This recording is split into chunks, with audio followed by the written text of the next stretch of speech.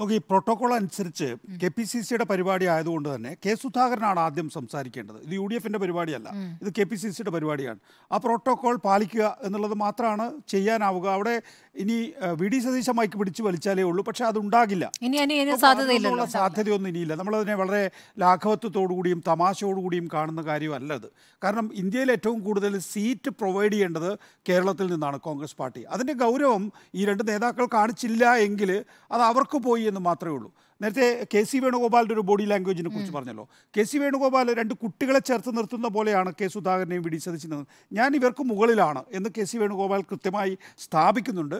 ഞാനാണ് ഭാവിയിൽ നേതൃത്വം ഏറ്റെടുക്കാൻ പോകുന്നത് എന്ന് പറഞ്ഞു വെക്കുന്നുണ്ട് അവിടെ. ആയിക്കോട്ടെ. പി വി ഡി സതീശനെ സംബന്ധിച്ചിടത്തോളവും കെ സുധാകരനെ സംബന്ധിച്ചിടത്തോളം അക്കാര്യത്തിൽ ഇപ്പോൾ തൽക്കാലം ഒരു അതൃപ്തി വെച്ച് പുലർത്തുന്നത് അവരുടെ ഭാവിക്ക് ഗുണകരമല്ല എന്നുള്ളതുകൊണ്ട് അവരതിനെ തൽക്കാലം വിട്ടുകളയാനേ സാധ്യതയുള്ളൂ. രണ്ടാമത്തെ പ്രധാനപ്പെട്ട പ്രശ്നം എന്ന് പറയുന്നത് നേരത്തെ സ്മൃതിയുടെ ചൂണ്ടിക്കാണിച്ച ഈ B J P C P M അന്തർധാര എന്നുള്ള പ്രചരണമാണ്. നോക്കൂ അതാണ് യഥാർത്ഥത്തിൽ ഈ സമരാഗ്നി കാലഘട്ടത്തിൽ മുഴുവനായും ഉന്നയിക്കാൻ പോകുന്നത്. ഉന്നയിക്കാൻ പോകുന്നത് എന്നുള്ളത് നമ്മൾ ഇന്നത്തെ ഉദ്ഘാടന പ്രസംഗങ്ങളിൽ നിന്ന് തന്നെ അത് വ്യക്തമാണ് എസ് എഫ് ഐ ഒ അതുപോലെ തന്നെ ദേശീയ തലത്തിലേക്ക് പോയാൽ അദാനി വിഷയങ്ങളൊക്കെ ആയിരിക്കും വരിക. പിന്നെ ഒരു സെക്കുലർ മത സാമുദായിക സംഘർഷമില്ലാത്ത ഒരു കേരളത്തിന് വേണ്ടി എന്താണ് കോൺഗ്രസ് കോൺട്രിബ്യൂട്ട് ചെയ്തിട്ടുള്ളത് തുടങ്ങിയ കാര്യങ്ങളൊക്കെ പ്രചാരണ വിഷയത്തിലേക്ക് വരുമെന്നുള്ളതാണ്. എനിക്ക് ഈ സി പി എം കോൺഗ്രസ് അന്തർധാര എന്ന് പറയുന്നത് അത്ര കണ്ട് വിജയിക്കാനുള്ള സാധ്യത ക്ഷണം C P M B J P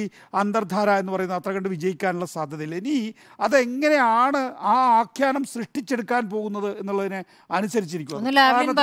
India ബ്ലോക്കിന്റെ കഴിഞ്ഞ ദിവസത്തെ സമ്മേളനം വലിയ രീതിയിൽ സി പി എമ്മിന് അത് കോൺട്രിബ്യൂട്ട് ചെയ്തിട്ടുണ്ട്. കാരണം നേരത്തെ ചൂണ്ടി ഇന്നലെ ചൂണ്ടിക്കാണിച്ചതുപോലെ തന്നെ ഇന്ത്യ ബ്ലോക്ക് ഉണ്ടായതിന് ശേഷമുള്ള ഏറ്റവും ഉജ്ജ്വലമായിട്ടുള്ള ഒരു പരസ്യ സമ്മേളനമായിരുന്നു യഥാർത്ഥത്തിൽ കേരളത്തിന്റെ ഒരു വേദിയിൽ സംഭവിച്ചിട്ടുള്ളത് എന്നുള്ളത് കൊണ്ട് വലിയ അഡ്വാന്റേജ് ആ കാര്യത്തിൽ പിണറായി വിജയനും സി പി എമ്മിനും ഉണ്ടായിട്ടുണ്ട് എൽ ഡി എഫിനും ഉണ്ടായിട്ടുണ്ട് എന്ന് കാണാതെ വയ്യ.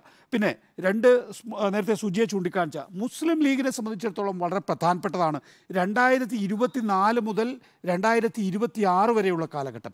നോക്കൂ നമ്മളിപ്പോൾ സി വോട്ടർ സർവേ പോലെ എഴുപത്തിയൊന്ന് സീറ്റുകളിൽ കോൺഗ്രസ് ഒതുങ്ങുകയാണ് എങ്കിൽ ഒരിക്കൽ കൂടി ദേശീയ തലത്തിൽ കോൺഗ്രസ് പ്രതീക്ഷയില്ലാത്ത ഒരു സംവിധാനമായി മാറുന്നു എന്നുള്ള തോന്നൽ സ്വാഭാവികമായും മുസ്ലിം ലീഗിനെ ഇരുത്തി ചിന്തിപ്പിക്കും. അപ്പോൾ ഇവിടെ ഒരു പതിനഞ്ച് സീറ്റിൽ കുറവാണ് കോൺഗ്രസിന് കിട്ടുന്നത് യു ഡി എഫിന് കിട്ടുന്നതെങ്കിൽ ലീഗിനെ സംബന്ധിച്ചിടത്തോളം കോൺഗ്രസിൽ യു ഡി എഫിൽ പ്രതീക്ഷ അർപ്പിച്ചിട്ട് കാര്യമുണ്ടോ എന്ന നിലയിൽ അവർ ചിന്തിക്കാനിടയുണ്ട്.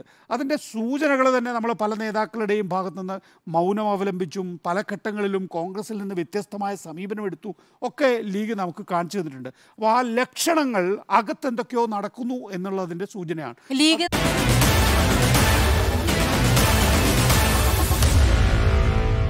Meet the editors.